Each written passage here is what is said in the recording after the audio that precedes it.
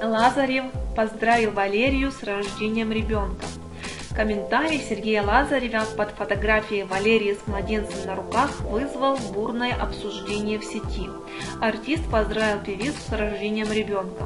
Фото с новорожденным опубликовали в своих микроблогах Иосиф Пригожин и сама Валерия.